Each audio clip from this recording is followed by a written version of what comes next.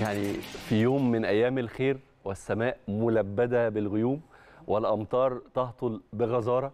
تأخر وصول خالد عامر وفاروق عصام للإستوديو بس بنرحب بيهم طبعا. أهلا وسهلا. أهلا وسهلا بيكم منورين الدنيا. كان نفسنا نبدأ معاكم بدري شوية. عندنا حاجات كتير جدا. وعندنا سوبر مصري وعندنا أهلي وزمالك وعندنا كلاسيكو وعندنا حاجات كتير قوي. بس أهلا وسهلا والحمد لله على السلامة. الله يسلمك. طبعا بنعتذر عن التأخير. الأجواء بره يعني أبداً. الدنيا زحمة شوية. أنا عارف طبعا. مبسوطين طبعا إن إحنا موجودين والحمد لله إن إحنا لحقنا بنتبسط بيكم جدا. والحمد لله إن إحنا لحقناك. آه بالظبط. ده. الحمد لله على السلامة. نبدأ. بالسوبر المصري. يعني ندخل في الموضوع على طول. خليني أسمع رأيكم. طبعا ظهرت بداية مقدمات الأهلي والزمالك شاركوا في الأدوار التمهيدية. الزمالك لعب يمكن دور ال 64 زيادة عن الأهلي لكن ظهروا في الأدوار التمهيدية لبطولة دوري أبطال أفريقيا ثم جولتين في بطولة الدوري العام. قرايتكم للفرقتين وشكل يعني فرصهم في المنافسة على لقب السوبر المصري ماتش يوم الجمعة إن شاء الله. ده مع خالد. طيب. آه خليني أقول إنه الأرقام بتقول آه بتوضح حاجات كتير الأرقام مش indications مطلقة متفقين ولكن- بص بص أي قراية الماتش أهلي وزمالك صعب جدا حد جداً. يقدر يحسم الموضوع بالذات 100%. الاهلي والزمالك 100% آه.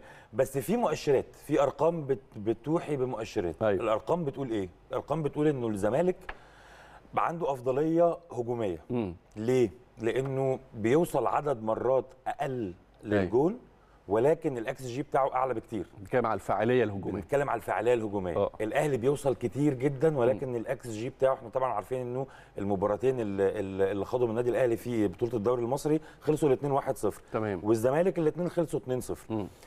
غير ال غير ال ال المباراتين بتوع الدوري المصري في مباريات دوري أبطال إفريقيا اللي كنت لسه بتتكلم عليها. مم.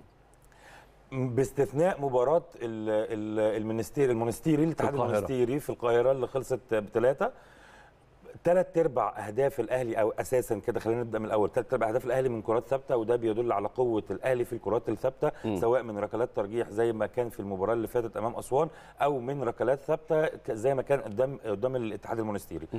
الأهلي بيوصل كتير بيدخل عدد أهداف قليل ولكن اللي بيتميز بيه الأهلي هو القوة الدفاعية. الأهلي مش صلابة دفاعية ولكن الأهلي ما بيوصلش داخل منطقة جزائه أهد... آه، فرص كتير. أيوه ده نابع من إيه؟ ده نابع من إن الأهلي خط وسطه بيستحوذ على الكورة أكتر وبيبدأ يضغط ويستخلص الكورة من أماكن فقده للكورة. بمعنى إن أنا خسرت الكورة تيجي في بالظبط منطقة- الخطورة عنده بالظبط كده. أيوة. فأنا بف... أنا بفقد الكورة في خط في... نص ملعب المنافس أنا بضغط عليه في نص ملعب المنافس عشان ألحق آخد الكورة. العكس صحيح. العكس في الزمالك إنه الزمالك بيستقبل هجمات خطيرة جدا كتير في منطقة جزائه أيوة. ولكن طلع باثنين كلين شيت وده بيدل على صلابة دفاعية ولكن في مباراة القمة طبعا الأعصاب بتبقى مختلفة شوية طبعاً، عما طبعاً. بتلاعب الفرق الثانية فالضغط ممكن يولد آه، هدف أو ممكن يولد آه، آه، خطورة على مرمى محمد عواد بيستقبل هجمات خطيرة كتير. ولكن في نفس الوقت هو بيروح على الجون مرة أو مرتين بيجيبهم اجوان هقارن معاكم الخطوط الخطوط الثلاثه بس عايز أسأل فاروق على القيادة الفنية. فيريرا الأهلي بالنسبة له آه، مش المواجهة يعني مش المواجهة رقم واحد. بالعكس آه، آه، واجه الأهلي كتير جدا. وواجه الأهلي قبل كده في الإمارات. وأعتقد فاز مع الزمالك بال- بالسوبر في الإمارات قبل كده. ولعب مع الأهلي كتير في مواجهات آخرها الموسم ال ال الأخير ده. ثلاث مواجهات مع ثلاث مديرين فنيين مختلفين. بداية من الخمسة بتوع بيتسو موسيماني ثم مع بعد كده مع كابتن سامي قمصان ثم مواجهة ثانية مع ريكاردو سواريش. هل وجود كولر في قيادة النادي الأهلي بالنسبة لل- للجهازين بالنسبة لمستر فيريرا هل أهلي السريع أهلي كولر مختلف عن الأهلي اللي واجهه فيريرا قبل كده؟ وإزاي أيضا يتعامل مع آه، آه، مارسيل كولر في أول آه، لقاء قمة وخصوصا إنه على ب- لقب وبطوله وهي بطولة السوبر المصري؟ خلينا نتكلم إن مدرب كبير زي مارسيل كولر خاض دربيات كتير في أوروبا وطبعا الدربيات في أوروبا مش هتختلف كتير عن عن ديربي ال- الأهلي والزمالك. لو رجعنا للقرايه الفنية للمباراتين كل فرقة في في الدوري سواء الأهلي ضد الإسماعيلي وأسوان أو الزمالك ضد سموحة وسيراميكا فإحنا ممكن نتوقع السيناريو التكتيكي اللي هيحصل في في المباراة. وهو استحواذ كامل للنادي الأهلي من البداية وتراجع دفاعي لنادي الزمالك لأن طريقة فيريرا معروفة في التقفيل الدفاعي شفناها ضد فرق أقل فنيا وأقل من من حيث السكواد ومن حيث القدرات بيسيب الكورة لل- للفرقة الثانية وهو متعمد ده لأنه عنده أفكار بيطبقها فور قطع ال- الكورة من الخصم لأنه بيحتاج دايما الخصم يفتح خطوطه ويتقدم للأمام. وجود عنصرين مهمين جدا في الزمالك وهو زيزو وإمام عاشور على طول أول ما الكره بتتقطع بتلاقي إمام عاشور بيتحرك في المساحات مع زيزو وهو بيستغلها بالكور العالية على سيف الدين الجزيري فالاستحواذ هيبقى للنادي الأهلي من البداية أهم حاجة في, في مباراة السوبر بالنسبة للنادي الأهلي هو عدم تلقي هو هدف هو. عمل ده مع. يمكن أبرز نموذج وأنت بتكلمني دلوقتي شفت ده مع سموحة وشفت ده مع سيراميك لكن أكتر نموذج حسيته وأنت بتتكلم دلوقتي. ماتش صح. الهلال في في. السوبر المصري السعودي يعني هو بيعتمد على حاجة مهمة جدا تسجيل الهدف والحفاظ عليه مم. انت لو اديته فرصة ان هو يسجل هدف أو نادي الزمالك يسجل هدف في البداية هيبقى صعب جدا تعويضه ليه. لأن نادي الزمالك مع فيريرا هو حافظ اللعيبة حافظة أدوارها الدفاعية بشكل مثالي صعب جدا تلاقي أخطاء صعب جدا تلاقي مساحات بس, بس أنا شفت أخطاء كتير جدا في ماتش سموحة بس وماتش وماتش سيراميك يعني أخطاء أخطاء عادية لكن آه. أوه. في مناطق الخطورة بتبقى صعب جدا تلاقي أخطاء آه ممكن يبقى وارد إن في أخطاء طبعا أيوة. لكن مش حاجة أنت تستناها في الماتش مم. فصعب جدا إن أنت تدي الزمالك هدف مبكر مم. وخصوصا إن الزمالك دايما عنده خطورة في الكرات الثابتة فلازم يبقى في آه، استقرار من بداية المباراة وضغط كامل. وأهم حاجة ما تظهرش ال- الأخطاء اللي ظهرت في ماتش أسوان في التمرير الخاطئ. كان في تمرير خاطئ كتير جدا آه، خصوصا في الشوط الأول في مباراة أسوان. وده لو ظهر ضد الزمالك ممكن يبقى فيه آه، ملامح خطورة ملامح أيوة. خطورة لل- للزمالك. فأهم حاجة إن مارسيل كولر من البداية يبقى عامل حسابه إن الكرة هتبقى في رجله ما يندفعش هجوميا بشكل بشكل مبالغ فيه ودايما يحيد اتنين لعيبة. أعتقد لو اتحيدوا مش هيبقى فيه خطورة كبيرة لنادي الزمالك وهم زيزو وإمام عاشور. آه، خالد بتشوف أبرز نقاط الضعف؟ يعني أنت بتتكلم مع الجهاز الفني النادي الأهلي النهارده وأنت قاري أو مذاكر فرقة الزمالك أبرز نقاط أو بلاش نقاط خلينا الثغرات اللي تمام. ممكن تشتغل عليها عشان تقدر تخترق وتوصل وخصوصا أتوقع إنه زي ما كان فاروق بيتكلم إنه الزمالك دايما بي- بيعتمد بشكل كبير جدا على إنه يأمن يلعب zone ويلعب وينقل هجمة سريعة أو counter attack يحاول يخلص بيها المباراة والزمالك من الفرق اللي لما بتسجل الأول بتبقى فرق بايخة يعني بيبقى بالظبط. بيبقى بيبقى بالظبط. ماتش بايخ بالتالي بالتالي الحسابات تتلخبط معاه جدا لو الأهلي سجل الأول هيضطر هنا يتخلى عن الاسلوب. اللي الفرقة متعودة. عليه وابتدى يبتدي يطلع من منطقته وأعتقد ده هيز- هيزود حجم المشاكل أهم الثغرات من وجهة نظرك اللي موجودة في فرقة الزمالك أو في طريقة آه، فيريرا بص هي طريقة فيريرا في المجمل ما فيهاش ثغرات واضحة آه ولكن الماتش ده هيبقى فيه ثغرتين. اللي هم إيه رقم واحد حمزة المثلوثي مم. حمزة طالع ال curve بتاعه طالع دلوقتي بشكل مميز جدا ك عارفين فيريرا بيلعب ثلاثة ورا منهم حمزة عشان خاطر حمزة يبقى باك يمين في الحالة الهجومية ويرجع قلب دفاع ثالث. وعمر جابر بيرجع يبقى باك آه، آه، يمين أو آه، سيد نيمار ال- الموسم اللي فات مين اللي يبدأ الماتش ده سيد نيمار ولا ولا لا، عمر عمر جابر؟ خبراته. تسمح له إن هو يبدأ أيوة. ماتش كبير زي ماتش القمة ماتش. السوبر.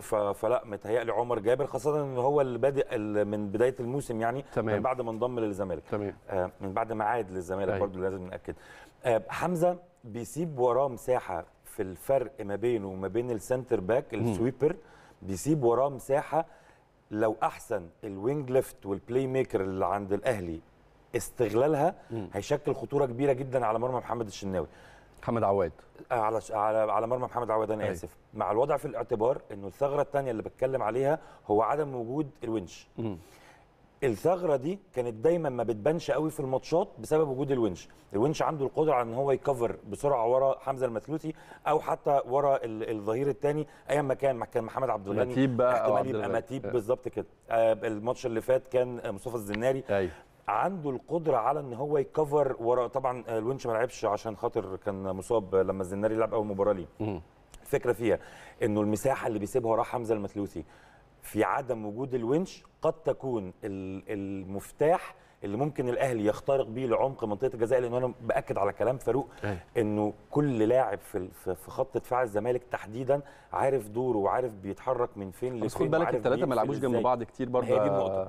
خالد يعني بالظبط. زناري مع مع عبد الغني مع مسلوسي في في الرصة دي كخط دفاع هو بيتهيألي ممكن يبقى متيب التفاهم وال ممكن يبقى. متيب مش آه. الزناري ما آه. ما أعتقدش إنه فيريرا ممكن يخاطر بالزناري. في أول آه. مباراة آه، أول مباراة قمة يعني فخاصة دي هتبقى تاني مباراة ليه هو ما لعبش أول ماتش في أيوة. في الدوري وما لعبش الأدوار بتاعه آه، دوري أبطال إفريقيا فما أعتقدش إن هو ممكن يدفع بيه أو يغامر بيه في مباراة أنا أنا هاجي لكم للتشكيل يعني هاجي آه، لقرايتك للتشكيل الأمثل للاهلي والزمالك آه، بس يهمني على على زي ما قريت كده مع خالد فكرة آه، الرصة الدفاعية أو الثغرات اللي ممكن الأهلي يستغلها لازم أسألك فاروق مين الأمثل وخصوصا طبعا مع عودة بيرسي تاو ومع وجود برونو سافيو في أول لقاء قمة آه، شادي حسين. يعني إحنا بنتكلم على خط هجوم فيه لعيبة يا إما عائدة من إصابة يا إما جاية صفقات جديدة.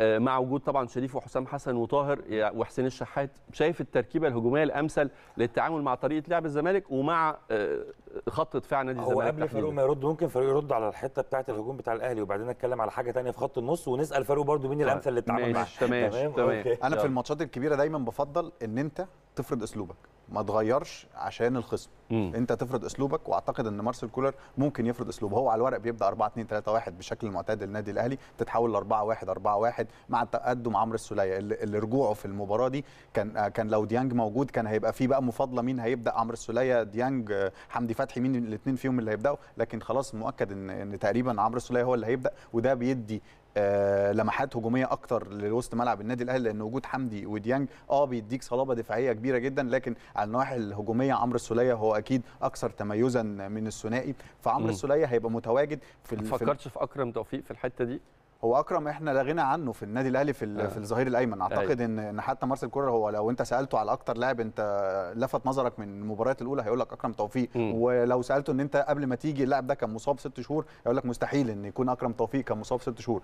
فهو لاعب آه، أعتقد لا غنى آه، عنه انت في المركز أنت ده تامن تأمن ال back اليمين بأكرم توفيق بالظبط وتقفل الحتة بالظبط دي خصوصا إن الحتة دي بيميل عليها زيزو كتير فوجود أكرم توفيق آه، ما أعتقدش إن في لاعب. يقدر آه يقدر آه. حاليا في مصر يكون يتفوق على أكرم توفيق في في. الهجوم أنا إن كنت بفضل في البداية أفضل الأسماء اللي عندها خبرة بمباريات القمة. في النادي الأهلي يعني هتقول لي يلعب برونو سافيو ولا قفشة أقول لك لا وجود قفشة مهم هتقول لي محمد شريف ولا, شادي. حسين هقول لك محمد, محمد شريف. لأنه سبق سجل في في نادي الزمالك ودايما مباريات القمة بالنسبة له بيكون إن هو بس خد متألق بالك برضو يعني في لعيبة أوقات كتير جدا ماتش بحجم ماتش وأهمية وهو عارف إن الجمهور قد إيه مهم بالنسبة له الماتش بيبقى نوع من أنواع في جانب ال- عكسي ال- بس. الدوافع وال آه في جانب عكسي الضغط. يعني آه الضغط بيبقى شديد ولو شادي مثلا أتيحت ليه انفرادات في مباراة مهمة زي دي وكان آه. في لا قدر الله تضييع لل- للانفرادات دي آه. ممكن ده يأثر عليه بالسلب بعد كده فالمباريات دي دايما آه سلاح ذو حدين ممكن تكون ولادة نجم جديد للنادي الأهلي لكن في نفس الوقت ممكن تكون ضغط كبير على حتى لاعب محترف زي برونو أعتقد إن هو مش هيبقى عارف الأجواء. أجواء مباراة الأهلي والزمالك فممكن يبقى ليه يبقى ليه أدوار في الشوط الثاني لكن دايما البداية تكون من اللعيبة الخبرة اللي ليها متمرسة أكتر في في في, في مباراة القمة يعني. شكل وهرجع بقى الحتة اللي أنت عايز تتكلم تمام. فيها دايما خط النص هو اللي بيحكم سيناريو المباراة وبيحكم مين آه، هيبقى متحكم أكتر في مين هيكون الفعل مين هيكون رد الفعل المواجهة بين الخط بين خطين النص وخصوصا طبعا خط النص في النادي الأهلي أكتر استقرارا أكتر انسجاما. آه، يعني فترات طويلة جدا منتخب وأهلي مع بعض بطولات كتير جدا قابلوا آه، فرق من العيار التقيل جدا جدا جدا جدا تخطوا بكتير مرح... يعني مستوى المواجهات المحلية على عكس تماما من الزمالك اللي بيضم عناصر جديدة غياب الانسجام غياب التفاهم. شايف المواجهة بين خطين النص إزاي يا خالد؟ طيب النقطة الثانية وترشيحاتك كمان يعني الأهلي يمكن يكون واضح قوي في خط النص. الزمالك توقعاتك ليه إيه؟ بص هو الزمالك ما, ما عندوش ال ال الأفضلية بتاعت إن هو يختار آه لأنه في في ظل عدم وجود دونجا اللي بي بيعاني من إصابة ولسه بيتأهل أيوه ما عندوش options كتير يعني رؤى وإمام رؤى وإمام وزكريا. و- وزكريا وزكريا الوردي الوردي. زكريا الوردي هنا في مشكلة آه زكريا الوردي بيعمل mispositioning كتير جدا بيفقد التمركز كتير جدا في الملعب وعنيف جدا لعيب. متحرك عنيف جدا آه آه. طبعا لعيب يستحق الطرد متحرك. بص هو مش عنيف هو مش عنيف. هو تدخلاته آه متهورة. متهورة. آه. مش عنيف. يعني تدخلاته مش مش ما, ما تصيبش بس أيوة. هو متهور شوية في بالظبط. آه. وب- وبيفقد التمركز كتير. النقطة اللي كان بيقول عليها فاروق فيما يخص الخبرات في ال- الملعب متفق معاه جدا ولكن كان عندي تصور مختلف. لو لعب فيريرا لو لعب ب 3 5 2 زي الماتش اللي فات لأنه ما عندوش إبراهيما نداي وما عندوش ممكن مصطفى شلبي ياخد دور في الشوط الثاني بس مش هيبدأ بيه من الأول آه. فلو لعب 3 5 2 بزيزو وسيف الدين الجزيري الاثنين مهاجمين صرحاء مش زيزو wing زي ما كنا متعودين عليه مم. هيضطر يلعب وراهم بخمسة. فهيضطر يلعب بالثلاثة اللي هم زكريا الوردي وإمام عاشور ورؤى هنا ممكن تستغل فكرة إنه زكريا الوردي بيعمل mispositioning وإنه إمام عاشور بيروح يبقى wing right عشان يعالج حتة ال- ال- الملعب المايل ده لأن زيزو بيبقى في الشمال أكتر.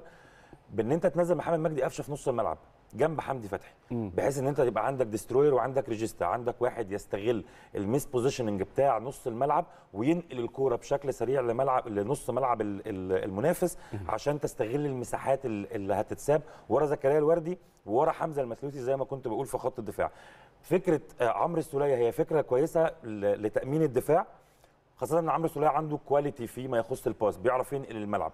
بس فكرة إن أنت تلعب playmaker صريح في نص الملعب وقدامه playmaker برونو سافيو مثلا. يعني أنا بتكلم يعني على التشكيل. حمدي قفشة حمدي برونو. قفشة برونو؟ آه. آه آه، بيرسي تاو لو جاهز آه أو, أو حسين الشحات بالظبط طاهر كده. في الشمال أو عبد القادر. أو عبد القادر وقدام محمد شريف متفق تماما مع أيوة. آه آه آه فاروق. مش شادي. فيما يخص لا مش شادي في آه. البداية. آه، أنا شادي بصراحة. شادي آه لا أنا يعني شريف. شايف إنه شريف طبعا خبراته في ماتش الزمالك scorer كل حاجة تمام جدا بس شا- شايف شريف بقاله فترة بيعاني من ضغط إنه عايز يجيب أول جول يعني عايز يجيب جول آه، آه، فاهم آه. إزاي مع أهمية المباراة مع مع إنه فرصة تضيع في مباراة من النوع ده ممكن تزود الضغوط على شريف شوية ف- فشايف هي هي إنه سلاح ذو حدين يعني آه، ليه آه، ما سلاح يلعبش الاثنين. مع بعض.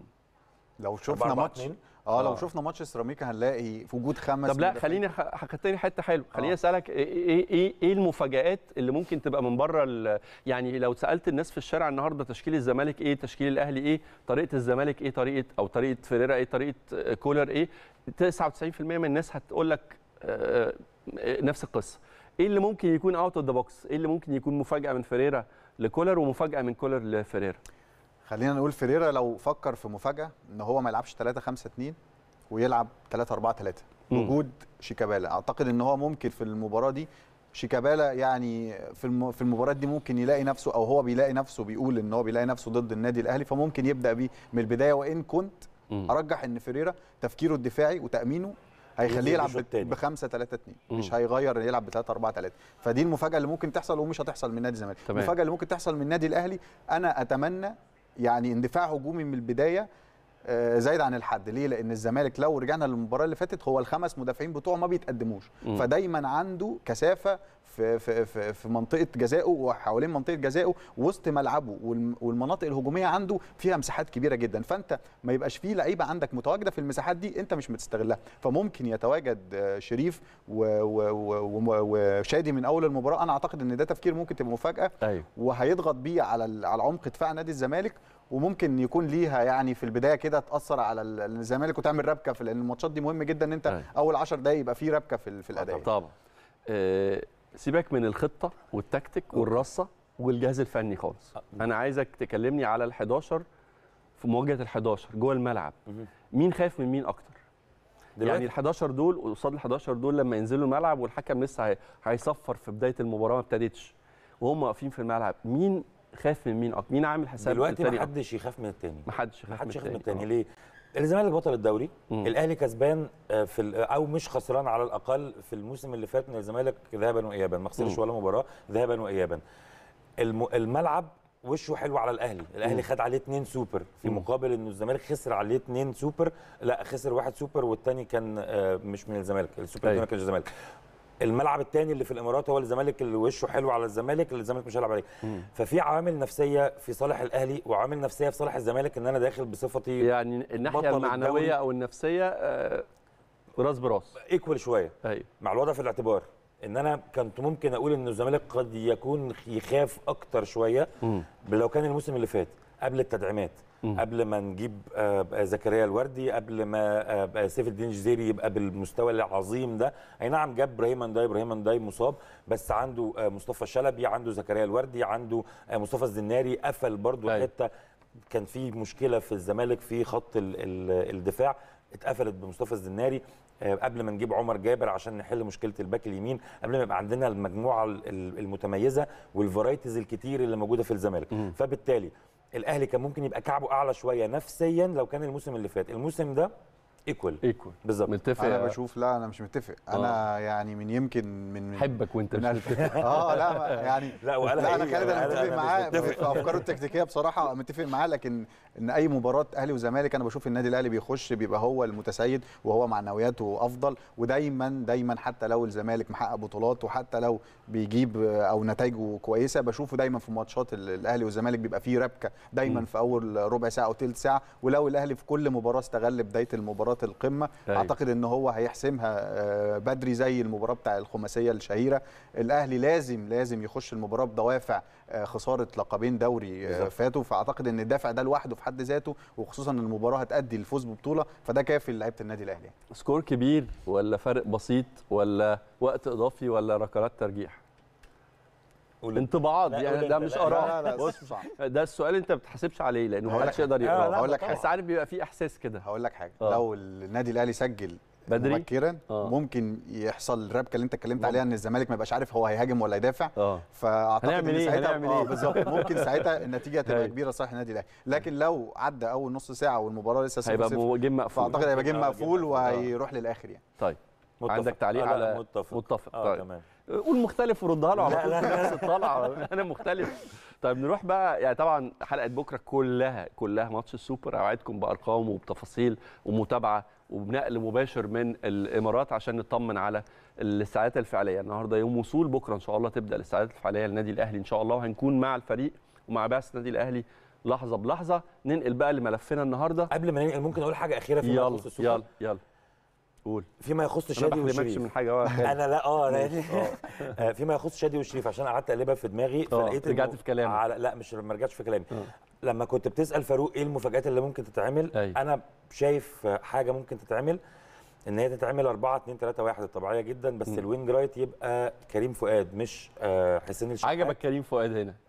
و و و و والفكرة في فيها إيه؟ آه إنه في الحالة الدفاعية ننقل 4 4 2 عشان وجود حمدي فتحي ووجود آه، آه، قفشة كده في عدد أقل من المدافعين ناقص في نص الملعب فكريم يرد فكريم يرد يبقى 4 4 2 وفي الحالة دي تلعب بشادي حسين wing left وشريف وفي راس الحالة الدفاعية آه. وشريف راس حربة وفي أيوة. الحالة الدفاعية الاثنين بيخشوا يبقوا اثنين راس حربة عن عبد القادر 4 في 4 ماتش 2. زي ده؟ واستغنى عن عبد القادر لو نزلوا الشوط الثاني عبد القادر. على فكرة ما أعرفش فاروق يتفق معايا ولا لأ بس فنيا عبد القادر بيبقى أفضل بكتير لما بينزل الشوط الثاني مش مم. لما بيبدأ المباراة مم. بيبقى أفضل بكتير أهم ورقة رابحة في الأهلي أو أهم ورقتين أو ثلاثة لو أنتم شايفين رابحة في الأهلي شايف إنه كولر ي- يخليه يعني يخليه جنبه وينزله. ينزل يغير سيناريو ماتش وأهم برضو ورقه رابحة آه، فاروق في لا ده أنا كنت عايز أقول إن عبد القادر في الماتش ده يبقى ورا رابحة النادي الأهلي آه، ليه لأن الماتشات الجماهيرية دي أيوة. اللعيب الحريف فيها بيستناها خد بالك. خد بالك إن الجمهور في مالي مدرجات برضو. دي حاجة هتأثر ده اللعيب الحريف. بيستنى الاهات لما يسمع إن. هو يعدي من لاعب والتاني والجماهير آه، صوتها يجلجل. آه طبعا فاكرين اللقطة بتاعت عبد القادر وعلي معلول في ماتش الهلال. السعودي في. البتاع. آه. تمزجوا أول ما واحد بس الجمهور قال آه العدلين آه، بتمزجوا آه. الجبهة دي أنا مستنيها في, في جداً. ماتش ال- الزمالك جبهة معلول وعبد القادر وحتة كريم فؤاد دي أنا بشيد جدا بمارسيل كولر فيها لأن هو ترتيبه الثالث في الظهير الأيمن بعد وجود آه، رجوع أكرم ومحمد هاني فهو مش هيبقى- مفنش مفنش ال season اللي فات آه، مستوى هايل مستوى جيد. منتخب و... وهو لعيب كويس أيوة. ولعيب آه، صاعد وعنده إمكانيات فهو لقى إن هو ممكن ما ياخدش دقايق في, في مركز ال- الظهير الأيمن لازم يوظفه في مركز جديد ودفع بيه في المركز ده وعلى فكرة مش أول مرة يدفع بيه في ال- في الماتشات الرس... يعني في الماتشات الرسمية كانت أول مرة لكن في المباريات الودية. خاض التجربة دي كتير وجربه وقال إن هو لاعب سريع ينفع يكون جناح وفعلا نجح في ال- في المركز ده. طيب نروح عايز؟ نروح لا نروح. نروح للنهاردة. بانت الدنيا في ال- يعني وإحنا على على آه، اعتاب بداية ال- أو بدأت بالفعل الجولة الخامسة ما قبل الأخيرة في دور المجموعات. بانت شكل أو ملامح دور ال 16 في. دوري الأبطال؟ بانت ما عدا المجموعة المنكوبة اللي إحنا يعني والله العظيم مش فاهم في إيه آه بانت مانشستر سيتي تقريبا خلاص. آه. باريس سان جيرمان خلاص تقريبا برضو. يوفي تقريبا. برضو خلاص. آه. بس يوفي خلاص بره مش أيوة. جوه. آه ريال مدريد آه خلاص أكبر ف- مفاجأة بالنسبة لك يوفي خروج يوفي خروج اليوفي آه آه آه مفاجأة كبيرة جدا لأنه بنفيكا يعني مجموعة سهلة المفروض فاهم أيوة. قصدي على على اليوفي فخروج اليوفي بالشكل ده لا مش مش طبيعي مش. مش مفاجأة بالنسبة لك أو كلوب بروج صح أنا نسيت أنا نسيت كلوب مفاجأة. سعيدة ومفاجأة بقى نقول اليوفي مفاجأة حزينة ولا. مفاجأة سعيدة. مفاجأة وخلاص آه، كلاب بروج طبعا مفاجأة كبيرة جدا أيوة. آه، أتمنى ميلان النهارده يقدر إن هو يحقق المفاجأة على فكرة مش هسامحك على. آه، أتمنى ميلان النهارده يقدر يحقق مش المفاجأة بس يقدر يحقق الصعب في إن هو يفوز الأول طيب على هنمشي مجموعه. هنمشي مجموعه. مجموعة ونستعرض ماتشات النهارده ونشوف رأيكم. فيها إيه طيب نبتدي بال group A طبعا نابولي ليفربول اياكس جلاسكو نابولي ضمن التأهل خلاص اياكس بتهيألي لازم يكسب النهارده قدام ليفربول تسعه لازم يكسب قدام لازم ليفربول. يكسب قدام ليفربول لازم يعوض فرق المواجهات المباشرة مع. ليفربول ولازم آه. يكسب فرق اثنين فرق. اتنين بالظبط آه. عشان لو كسب المباراة الأخيرة وتعادلوا في النقط يبقى الأفضل الاياكس مع فكرة إنه ليفربول يركز أكتر ال season ده على آه، المنافسة على ال Champions League لأنه حسابات ال Premier League. خلاص صح مش option هو بعيده هو قوي بص هو مش هو. مش مش بعيدة ولا حاجة يعني عندما Premier بنشوف- League مش ب... يعني الكوره ما فيهاش مستحيل آه ف- لا ده مستحيل. في فرق نقط والله لا عادي يعني. على اللقب ولا المربع ال- هالاند لا، على اللقب،. على اللقب، على اللقب. على اللقب. آه لا مش والله صعبه قوي مستحيل. هي ما فيهاش مستحيل طبعا جداً، جدا صعبه في وجود يعني يعني ممكن أفهم معجزة تشيلسي مع لامبرد وتوماس توخل في Champions League تتكرر آه، ك Champions League لكن في Premier League يعني هقول لك حاجة بالنسبة. لليفربول آه، بالنسبة. لليفربول ماتشات. دوري الأبطال هتبقى مختلفة ليه لأن دايما ده ماتش واحد في دوري الأبطال ممكن تخش اللعيبة تقدم 100% لكن الماتشات المحلية هو الموسم طويل بتخوض مباريات كتير فمش مش وارد إن أنت ما تكونش في يومك يعني طيب نروح للمجموعة B في المجموعة B. عندنا بروج طبعا آه، آه، في الصدارة حسم التأهل خلاص. آه،. معاه بورتو وأتلتيكو مدريد بيتنافسوا. وأعتقد باير ليفركوزن مش بعيد لأنه بنتكلم على ست نقاط أربع نقاط ثلاث نقاط. بورتو وأتلتيكو مدريد وباير ليفر- ليفركوزن واحد منهم يتأهل مع من بروج بعيد بورتو. عاد من بعيد آه. مكسبين ورا بعض كان هو متزايل المجموعة قدر يحقق مكسبين ورا بعض بقى هو في المركز الثاني لكن أنا أتمنى تأهل أتلتيكو مدريد بحيث إن الفرق تبقى الفرق القوية هي اللي موجودة في آه، دور ال 16 وخروج بورتو وباير ليفركوزن وتأهل كلوب بروج ده مفاجأة برضه طبعاً. كبيرة جدا يعني طبعاً. جدا سؤال صح. اللي فاروق بيتكلم عليه إنه ما يبقاش كلاب بروج وبورتو اللي يتأهلوا ونسيب أتلتيكو مدريد بره يعني أيوه أيوه؟ آه آه بورتو بطل برضه يا خالد زمان يعني البطل آه. آه. بطل برضه يعني الف- المجموعة C عندنا بايرن ميونخ وانتر ميلان 12 و7 نقاط ثم البارسا أربع نقاط وفيكتوريا بيلزن برصيد صفر من السيناريو النقاط المستحيل لتأهل برشلونة وارد السيناريو مستحيل. لا صعب مش مستحيل. مستحيل السيناريو ال- ال- الصعب جدا بس آه، فوز على. بايرن ميونخ فوز على بايرن ميونخ مم. خسارة الإنتر المباراتين أيوة. بدون تحقيق وأي نقطة صعب جدا يعني لا لا ليه ليه أنت بتتكلم على إنه خسارة الإنتر آه، من آه، فيكتوريا. مباراة ومكسب هيبقوا متعادلين في النقاط للإنتر. المواجهات المباشرة المباشر يبقى لصالح آه. إنتر هو الماتش الأولاني خلص واحد والماتش الثاني آه، تعادل. تعادل. 3 3 مم، مم. فلازم انت بتتكلم على الانتر يخسر ويتعادل. وبرشلونة يكسب بايرن ميونخ. يخسر ويتعادل. انتر يخ... يخسر ويتعادل. الماتشين. يخسر المباراتين ليه يخسر ماتشين يخسر ويتعادل. لو لو خسر وتعادل لو خسر وتعادل هيبقى نقط. 8 لو بارسا كسب ماتشين يبقى 10 آه لا ما تمام. بالظبط، يخسر صح، ويتعادل. صح، يخسر ممكن. يخسر ويتعادل. آه، آه، آه، يخسر يخسر ويتعادل. وارد بقى ده كل شيء وارد. وارد آه. متعاطف مع البارسا. في حتة في قلبي هنا كاتالونيا. في حتة في قلبي بارسا. طب نروح للمجموعة دي. توتنهام مارسيليا. ده المجموعة دي ملخبطة جدا. توتنهام ومارسيليا ولشبونة وفرانكفورت. آه، توتنهام آه، الأقرب. آه. آه، نظرا لتاريخه برضو خلينا نقول. مارسيليا السنة دي حلوة على فكرة. مارسيليا هايل. آه مارسيليا هايل. السنة دي متحسن. فكرنا بمارسيليا بتاع التسعينيات مرة ثانية فوزين ورا بعض بعد بداية آه. سيئة في. البطولة أيوة. حقق أنتصارين و... يعني توقعوا توتنهام ومارسيليا. آه، لشبونة. لشبونة آه. بدايته كانت قوية للمجموعة برضه نزل. انتصارين وبعد. كده ما قدرش آه. لكن لا المجموعة لسه مفتوحة يعني لسه لكن مفتوحة. توتنهام هو الوحيد اللي تقدر تقول ممكن يتأهل بالظبط طيب نروح. للمجموعة E تشيلسي آه، ريد بول سالزبورج ودينامو زغرب. وميلان والنتيجة حاليا 1-0 لصالح تشيلسي. 1-0 لصالح تشيلسي. Nice. Okay. Nice. في مواجهة سالزبورج طبعا. تشيلسي آه. بيلعب دلوقتي مع سالزبورج والساعة 9 الميلان هيلاعب آه، آه، دينامو زغرب المفروض تكسبوا بقى ولا إيه النهارده؟ يعني أنت لو ما المفروض. كسبتوش تبقى بقى إيه يعني؟ عندنا دم والله. آه يعني. يعني أنا مكسبكم النهارده ومكسب تشيلسي يحطوا يحطوكم مع تشيلسي أول وتاني.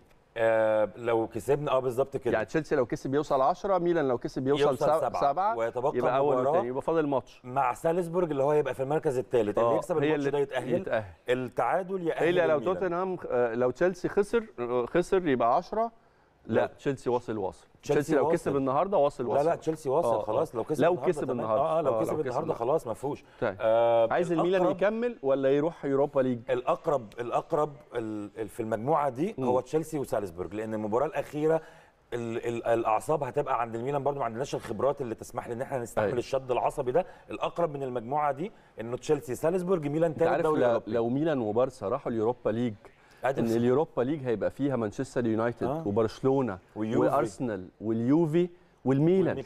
وكلهم واخدين كلهم واخدين Cham... أرسنال خد Champions League ما لا. إحنا لا أرسنال لا، ما خدش ما. إحنا لكن اليونايتد الوحيدة اللي في لندن اليونايتد والميلان. لندن هي آه تشيلسي ال- اليونايتد والميلان واليوفي والبارسا أها. كلهم ex Champions League بالظبط. آه. ما هو المرة اللي فاتت لما كان فاروق بنتكلم فيقول لك آه ده هيروح ال Europa League وده هيروح ال Europa. تعالوا. لنا بقى. لما أنا يروحوا معانا. يروحوا معانا. إحنا نروح يروحوا معانا. آه آه ويقول لك يا عيني على الحلو لما تبهدلوا والله، الأيام. آه. نروح للمجموعة اللي بعدها. مجموعة F عندنا ريال طبعا الملكي. فتأهل خلاص برصيد 10 نقاط لأنه طبعا شختار ورقميا لسه حسابيا لسه. يعني حسابيا لسه. لو لو ريال خسر الماتشين ولايبزيج وشختار كسبوا آه بس لا، هو صعب. هيلعب already مع لا، ريال شختار، ضمن. إحنا صح. بس آه ريال ضمن الترتيب ريال آه. مدريد 10 لايبزيج 6 تمام. شختار شختار وسلتك. 5 سلتك bye bye. خمسة. يعني يبقى شختر لسه موجود خاصة انه خلي بالك انه في إحصائية آه بتقول إن تروبن حارس مرمى شختر هو أكثر حراس المرمى في في البطولة بشكل عام أيوة. تصديا. ده إحنا معانا شوية أرقام برضو مفاجآت الأرقام النهارده. آه آه يعني. طب نخلص المجموعات. لا معانا معانا ال G وال H خلاص. نخلصهم المجموعه السابعه والثامنة. يلا. مانشستر سيتي طبعا المرشح الأول لتحقيق اللقب السنة دي إن شاء الله. 10 نقاط. معاه بروسيا دورتموند برصيد سبع نقاط في المركز الثاني إشبيلية في الم... آه يعني دي خلاص تبقى تقريبا. محسومه ماتش النهارده. لو تعادل الاثنين للفرقتين. ولا هنشوف كرة حلوة؟ أعتقد المباراة هتبقى يعني الفرقتين ممكن التعادل يفيدهم فمش هيبقى في اندفاع كب- كبير الموسم مكمل فأعتقد آه. المباراة تبقى يعني ما فيهاش يعني متعة يعني يعني. يعني يعني ده أنا مستني الماتش ده بس دايما ال- المباريات في دورتموند هيبقى في دورتموند الماتش آه. هيبقى صعب لأن الملعب آه، ليه أجواء خاصة طبعاً، فلازم آه. دورتموند يكسب يعني. وأعتقد إن دورتموند هيبقى حابب يخطف الماتش عشان يتأهل أول. ما يطلعش تصنيف تاني آه طيب نروح لآخر مجموعة عندنا باريس سان جيرمان وبنفيكا البرتغالي تقريبا تقريبا خلاص هم اللي هيتأهلوا في المجموعة دي آه. واليوفي إلى ال Europa League اليوفي عنده رقمياً. بنفيكا النهارده رقميا آه، لسه موجودة آه، آه. نظريا آه، صعب رقميا تبقى. موجودة اليوفي يكسب الماتشين يكسب الماتشين منهم باريس سان جيرمان منهم باريس سان آه، جيرمان يعني- وبنفيكا يخسر ما هو آه. يكسب بنفيكا النهارده ويخسر بنفيكا طيب. الماتش الأخير ويخسر طيب خليني كده. أسأل صعب. سؤال الساعة دلوقتي الكلام النهارده طبعا آه، التوتر اللي حصل التوتر ده بادئ من قبل الموسم مستمر على مدار الموسم بين تنهاج وبين كريستيانو رونالدو والنهارده سمعنا على اهتمام نابولي. نابولي بيفكر في إنه كر- كريستيانو رونالدو ورونالدو بيقول إنه ممكن يا إيه الضحكة؟ ضحكة سعادة ولا ضحكة خباثة ولا لكن لكن هو بيقول لك. أنا مستعد اتنازل عن جزء. هل في وارد إنه في في انتقالات آه، شتوية آه، كريستيانو رونالدو بره الأولد ترافورد ونشوفه في في الكالتش أو في عودة مرة ثانية لواحدة من الفرق الإيطالية وخصوصا مع اهتمام نابولي؟ ما آه، نابولي صعب نابولي صعب نابولي صعب لأن نابولي خلي بالك برضو الميركاتو 2020 في ال- في الشتاء آه. ال- الميركاتو الشتوي كان أيوة. نابولي عرض على إبراهيموفيتش لو إحنا كنا فاكرين إبراهيموفيتش كان بيلعب في الدوري الأمريكي وخلاص كان خلص التعاقد وعايز يرجع أوروبا تاني و... و... ونابولي عرض عليه ورفض مم. وبعدين جه الميلان الحمد لله أيوة. نابولي صعب نابولي صعب أقول لك أنا الضحكة دي ليه لأن آه. جه علينا الوقت اللي نقول كريستيانو رونالدو آه انضمامه الفرقه أيوة. ممكن يأثر عليها بالسلب صحيح يعني ده ما, ما كانتش تبقى موجودة في, في الأحلام لكن حاليا فريق نابولي وفريق الجماعي الممتاز بالظبط. اللي عمله سباليتي لو دخل عليه. لاعب زي كريستيانو رونالدو خد بالك وجود كريستيانو رونالدو فيه مشكلة أنا شايفها دلوقتي أزمة كبيرة جدا وجوده في الملعب هو اللعيبة كلها بتبص على كريستيانو رونالدو أيوة. فده بيخلي مفيش روح جماعية أكتر. وتحديدا في مانشستر يونايتد دايما كان في لوم على برونو فرنانديز اللي لو موجود كريستيانو رونالدو في الملعب هو دايما تفكيره والباص ليه لكريستيانو رونالدو. أيوة. فده بيأثر وحتى تنهاج اتكلم على الموضوع ده وقال إن كريستيانو وجوده في الفرقة دلوقتي هو ما قالهاش صراحة بس هو اتكلم إن هو نقمة لأن. وجود راشفورد في الفرقه بيساعده أكتر بيخلي الفرقة جماعية أكتر بيضغط أكتر. فكريستيانو وصل للزمن إن هو بقى طيب نقمة. نروح لأرقام وإحصائيات مجهزينها لكم بقى الناس عشاق ال Champions League. أرقام وإحصائيات بتكشف عن تألق على مستوى الأفراد أو على مستوى الفرق. تعالوا نشوف معاكم ومع خالد ومع فاروق. طبعا 189 جول ده عدد الأهداف اللي تم تسجيلها بمعدل ثلاث أهداف تقريبا في الماتش يعني كل 30 دقيقة في ماتشات ال Champions League بنشوف هدف. الأهداف. يا روخ آه نابولي طبعا الفرقة الممتعة أقوى خط هجوم. أقوى خط هجوم آه. وفعلا عن جدارة ولو رجعنا لمين اللي سجل لنابولي هنلاقي لعيبة كتير جدا هم. ما عندهمش النجم الواحد أيوه آه بايرن ميونخ كالعادة هو موجود بسجله الحافل في في في دور المجموعات بدون آه بدون هزيمة. آه من سنين كتير جدا ليفربول طبعا ومان سيتي كان بالنسبة لي مفاجأة إن مان سيتي ما يتواجدش في في المقدمة. لكن هو معوض ده في الدوري الإنجليزي. الأهداف. اللي ما بيجيبهاش هنا بي- بيجيبها في الدوري الإنجليزي. آه. بالظبط. دورتموند بعد كده اللي هو في مجموعة مانشستر سيتي وده دليل إن الفرقتين التانيين في المجموعة هم حلقتين آه، أضعف بكتير من باقي الفرق الدوري الأبطال. أيوة. وبعد كده اياكس طبعا اللي النهارده هيواجه آه، ليفربول. طيب دول اله... اله... اله... الهدافين. هدافين البطولة أو أكثر اللاعبين آه، احرازا للأهداف ويهمنا طبعا نجمنا صلاح اللي موجود في. الصدارة. المركز الأول فيه ثلاثة خالد؟ هالاند. آه وصلاح وليفا. ليفاندوفسكي. ليفاندوسكي دول هدافين البطولة ليفاندوسكي المر... ال- المركز الثالث أو الأول مكرر مع صلاح وهالاند. على الرغم من إن هو أكتر اللاعبين تسديدا على المرمى أيوه دي إحصائية ثانية أكيد هتيجي هنجيبها كمان. شوية آه. طبعا آه 11 محاولات 11 تسديدة 11 محاولة على المرمى مم. دخل منهم خمسة أيوه تسعة صلاح تسع محاولات على المرمى دخل خمسة. دخل منهم خمسة صحيح. ففي فعالية هجومية لصلاح أكبر كويس نتمنى إن هو وأعتقد يكمل لو خرج. ليفاندوفسكي من السباق يبقى هيبقى ال... لو واستمر الليفر والسيتي يبقى الصراع على لقب الهداف أقرب ليكون صلاح هالاند صلاح هالاند. خاصة إن هالاند. برضو الفعاليه بتاعته هالاند 8 محاولات منهم خمس أهداف. أيوه. صلاح تسع محاولات منهم خمس أهداف. تمام. نروح بعد كده لل دي المحاولات على المرمى اللي كان بيتكلم عليها خالد بالظبط بالظبط ليفاندوفسكي ده دليل ان ان إن ليفاندوفسكي في برشلونة كل الفرقة بتخدم على. ليفاندوفسكي. بالظبط وبتشتغل عليه وشفنا أهداف في الليجا تتواصل بلا انقطاع يعني محمد صلاح ودي كانت حاجة مميزة في الأداء الفردي لمحمد صلاح إن ليفربول حتى لو مش في أفضل أحواله ومحمد صلاح دايما بيقدر يصنع. الفرص لنفسه وبيقدر يصنع الفرص يستغل الفرص من ال من ال مم. من ال- الخصوم هالاند بقى أنا عايز هنا أقف عند هالاند لأن أنا عايز اتكلم في رقم اعجازي لهالاند. هالاند لو الاكس جي بتاعه في الدوري الانجليزي أنا رجعت له كام 11 هدف واعتقد 2 من 10 مم. هالاند مسجل كام 17 هدف أيوة. فأعلى من الأهداف الاكس جي ده اللي هو. الهدف المتوقع إن هو يسجله الأهداف المتوقعة بناء على ده الفرص مش وبناء على ده معدي ده معدي بكتير ده آه. مسجل 17 وهو المفروض يسجل 11 11. فهنا بص من 8 8 وهو من مش ثمان محاولات مسجل خمسة يعني ما نقولش إن الفرقة بقى بتخدم على هالاند زي ليفاندوفسكي لا, لا. هو دايما بيصنع نفسه وهو دايما بيسجل من من يعني يعني لو لو نفس المعدل بتاع هالاند مع ليفاندوفسكي كان المفروض مثلا ليفاندوفسكي مسجل 8 أهداف بالظبط آه من و- 11 وهالاند لو 11 اتيحت. ليه نفس العدد ال- بس ليفاندوفسكي خطير برضه يعني طبعاً. يعني خطير طبعاً. يعني هو. حتى سألوه في الكرة الذهبية عن هالاند آه. قال أنا أنا آه بواجه لاعب صاعد بس أنا مش هبطل تسجيل اهداف يعني طيب الإنقاذات أو إن- يعني حراس المرمى. بقى وهنا لفت نظري في القائمه إنه غياب ال- الحراس. الأسماء الكبيرة يعني بالظبط. آه. بص هو ده مش مش مش غريب أيوة. لأنه كل ما مستوى الفرقة ما بيبقى متواضع كل, كل ما خط الحارس دفاعه بالظبط كل ما ما, نسبة الوصول للمرمى أيوة. بتبقى أعلى, أعلى طبعاً. فبالتالي بيبقى قدام الحارس فرصة إن هو مم. يظهر أكتر من الحراس الكبار بس مينيولي مثلا عكس. حارس مرمى بروج وهو متصدر بروج، مجموعته بالظبط. لكن يعني برضو عدد ليه دور طبعا أنا برضو إنتر آه تمام خلينا بس في بس بس fair ده يا خالد آه، بدون. كلامك بتاع أياكس هو ممكن يكون الحارس الأول لمنتخب هولندا في كأس العالم عنده بالظبط. 38 سنة. عنده 38 سنة. أول مرة يعني ينضم المنتخب تخيل آه، آه، تخيل مرة. عشان الحظ ابتسم له عنده 38 سنة. أيوه. نروح ناخد ال... دي دقة التمريرات بالنسبة للفرق. غريبة بالنسبة لي إن ريال يعني ريال طبعا ريال يبقى ريال لكنه يتفوق على السيتي الحقيقة. توني كروس؟ آه. كنت لسه هقول كده برافو عليك. توني كروس واحد بيطلع في كل مباراه 90% بس نسبة يعني. نسبة تمريرات أنا. في في ماتش نفسي أفتكر ماتش إيه؟ توني كروس طلع بنسبة تمريرات صحيحة 99% مم. 99% يعني إيه 99% ألماني بقى آه، مظبوطة. كمبيوتر آه، مهندس آه، مساحة آه، مش. آه والله. يعني آه آه أنا بس الإحصائية اللي فاتت دي أنا مستغرب لها. الأكيرسي دقه التمرير؟ دقة التمرير آه. مستغرب لها في برشلونة. أيوه برشلونة في الاستحواذ على الكورة هي أعلى فرقة في الاستحواذ في نسبة الاستحواذ. ومع ذلك في في نسبة دقة التمرير هي في المركز الرابع.